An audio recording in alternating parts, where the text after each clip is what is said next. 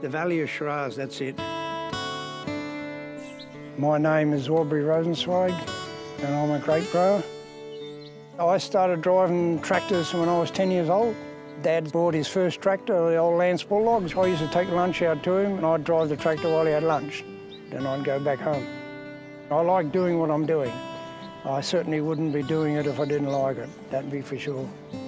We lived in a, a little shed, uh, 8 by 14 foot, which fits on the back of a truck. That's what we lived in down in Tintinara in the scrub.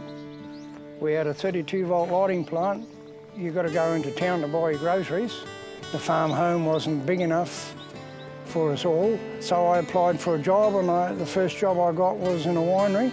Then we looked around to buy a place and the place had vineyard in it and my uncle owns a vineyard and he said, I'll teach you how to prune, I'll set you up and get you started and tell you what you got to have and that's what happened.